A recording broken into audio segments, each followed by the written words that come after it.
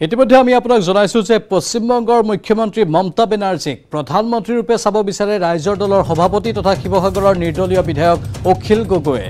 মমতা বেনাৰ্জীলৈ নিজৰ সমৰ্থন প্ৰকাশ কৰি অখিল গগৈয়ে কয় আমি মমতা বেনাৰ্জীক ভাল পাওঁ কাৰণ তেওঁ এখন সাম্প্ৰদায়িক ফেচিষ্ট চৰকাৰৰ বিৰুদ্ধে যুঁজ দি আছে। মমতা বেনাৰ্জীয়ে এটা ফেডাৰেল ৰাজনৈতিক গাঁথনিৰ বাবে যুঁজ কৰি আছে। এই কথাবোৰ সত্য। আমি সেয়ে তেওঁক পৰৱৰ্তী প্ৰধানমন্ত্ৰীৰূপে চাব বিচাৰোঁ। আমাক এটা আঞ্চলিক দলৰ ফেডাৰেশ্যন লাগে আৰু আমি মমতা বেনাৰ্জীক প্ৰধানমন্ত্ৰীৰ প্ৰাৰ্থী হিচাপে বিচাৰোঁ। আমি আঞ্চলিক ফেডাৰেশ্যন এটা গঠনৰ প্ৰয়াস কৰি আছোঁ। ফেডাৰেলিজম আজি সংকটত পৰিছে। আমি তিনিমাহ পিছত এই বিষয়ত ভালকৈ বহিম আৰু সেই অনুসাৰে আগবাঢ়িম।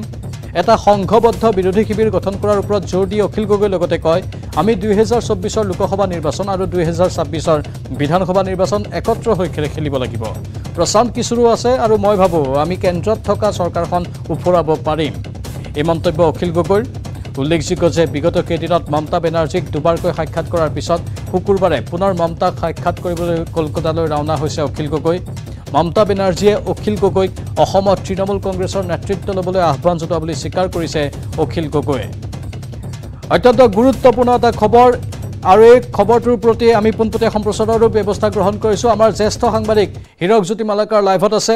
হীৰক জ্যোতি ৰাজনীতিৰ বাবে ডাঙৰ খবৰ হিচাপে পৰিগণিত হৈছে এই খবৰটো। হয় পাঞ্জাৱ ৰাজনীতি হিচাপে ডাঙৰ খবৰ হিচাপে পৰিগণিত হৈছে। অখিল গগৈ আচলতে দুবাৰকৈ মমতা বেনাৰ্জীক পশ্চিমবংগৰ মুখ্যমন্ত্ৰী মমতা বেনাৰ্জীক সাক্ষাৎ কৰা কৰা বিষয়টো এতিয়া ৰাজনীতিক মহলত তীব্ৰ চৰ্চাৰ সৃষ্টি হৈছে। যদি চাব যায় অসমৰ পশ্চিমবংগ চুবুৰীয়া ৰাজ্য হৈছে অসম। আৰু অসমত কেনেদৰে আহ, তৃণমূল কংগ্ৰেছে প্ৰভুত্ব বিস্তাৰ কৰিব পাৰে বা তৃণমূল কংগ্ৰেছে কেনেদৰে আহ, তেওঁলোকে মূল ভেটি গঢ়িব পাৰে তাৰ প্ৰতি লক্ষ্য ৰাখি অখিল গগৈক দুবাৰকৈ সাক্ষাৎ কৰিছে মমতা বেনাৰ্জী। আৰু অখিল গগৈ এই ক্ষেত্ৰত যিহেতু তেওঁ সাক্ষাৎ কৰাৰ কথা স্বীকাৰ কৰিছে আৰু স্বীকাৰ কৰি এটা কথা কৈছে যে তেওঁ মমতা বেনাৰ্জীক যিহেতু প্ৰধানমন্ত্ৰী হিচাপে চাব বিচাৰে আৰু সেই উদ্দেশ্যেৰে তেওঁলোকে একত্ৰিত হৈছে আৰু একত্ৰিত হোৱাৰ বাবে পৰিকল্পনা কৰিছে।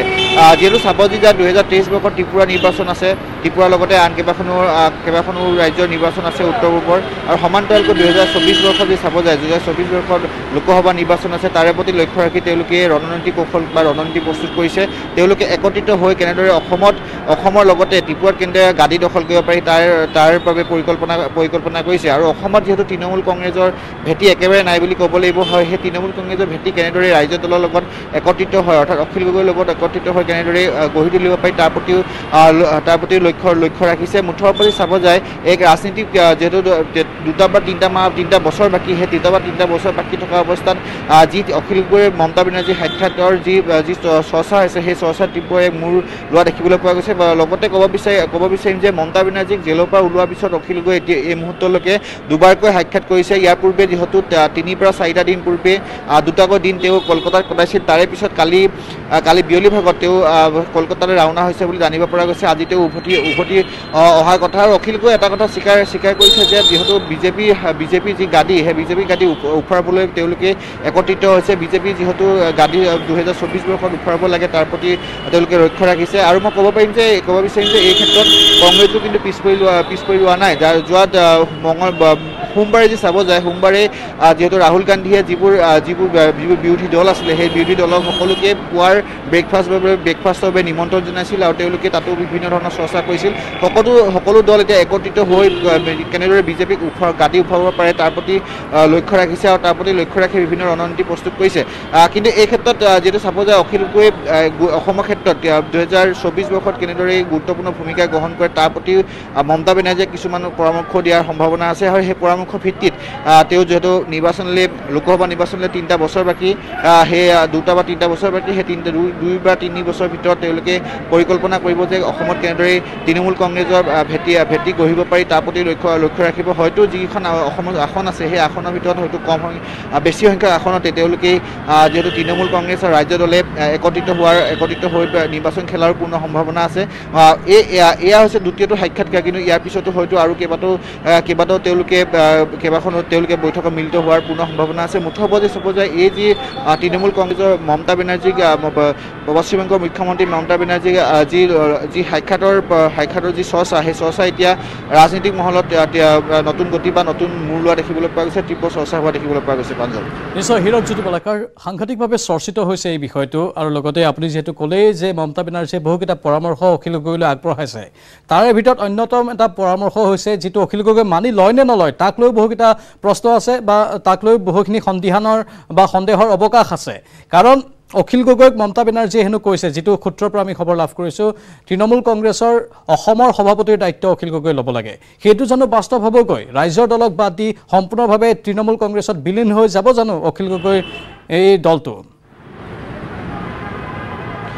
হয় এই কথা যিহেতু চৰ্চা লাভ কৰিছে কিন্তু এই ক্ষেত্ৰত অখিলে এই মুহূৰ্তলৈকে কোনো ধৰণৰ কোনো ধৰণৰ তেওঁলোকে কোনো ধৰণৰ কথা কোৱা নাই বা কোনো ধৰণৰ তেওঁলোকে তেওঁ অখিল কথা কোৱা বা বিৰত আছে। কিন্তু যদি চাব যায় তৃণমূল কংগ্ৰেছৰ কংগ্ৰেছৰ তেওঁ যিটো নেতৃত্ব দিয়াৰ কথা আপুনি আপুনি এই মুহূৰ্তত উল্লেখ কৰিছে কিন্তু তৃণমূল কংগ্ৰেছৰ নেতৃত্ব দিলেও তেওঁ যিটো ৰাজ্য দলৰ সভাপতি সেই ৰাজ্য দলৰ সভাপতি হিচাপে হয়তো তেওঁলোকে ৰাজ্য দল আৰু তৃণমূল কংগ্ৰেছ একত্ৰিত হৈ আগবাঢ়ি যোৱাৰ সম্ভাৱনা আছে। কিন্তু এই ক্ষেত্ৰত যে অখিল গগৈয়ে তৃণমূল কংগ্ৰেছৰ দায়িত্ব বা নেতৃত্ব যে ল'ব সেয়া এ, সেয়া এক প্ৰকাৰ নুই কৰিব নোৱাৰি কিন্তু সময়ত এয়া লক্ষণীয় হ'ব। এই এই- দুটা বৈঠকত আচলতে কেইবা কেইবাটাও পৰামৰ্শ দিয়া হৈছে আৰু এই বৈঠক কেৱল এই দুখন বৈঠক নহয় ইয়াৰ পিছতো হয়তো কেইবাখনো বৈঠক হ'ব। যিহেতু এই ক্ষেত্ৰত যিবোৰ অখিলক অখিলৰ কিছুমান অখিল গগৈৰ কিছুমান যিহেতু চৰ্ত থাকিব সেই চৰ্তসমূহ মমতা বেনাৰ্জীয়ে মানি লয়নে নাই সেয়া হ'ব সেয়া সময়ত হ'ব লক্ষ্য লক্ষণীয়। কিন্তু এটা কথা চাব যি যায় কিছুদিন পূৰ্বে যিহেতু কংগ্ৰেছ প্ৰদেশ কংগ্ৰেছৰ নতুন সভাপতি ৰিপুণ বৰা কংগ্ৰেছ প্ৰদেশ কংগ্ৰেছৰ নতুন সভাপতি ভূপেন বৰাক যিহেতু ৰাইজৰ দলৰ যি